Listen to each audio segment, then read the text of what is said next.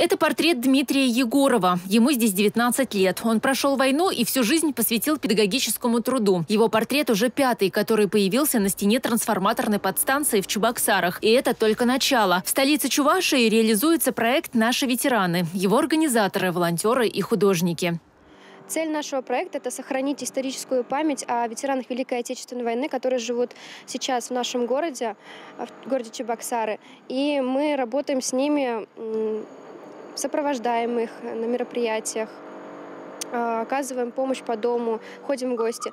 Но основной нашей задачей сейчас является нарисовать портреты ветеранов Великой Отечественной войны, живущих в городе Чебоксары, а, на зданиях города.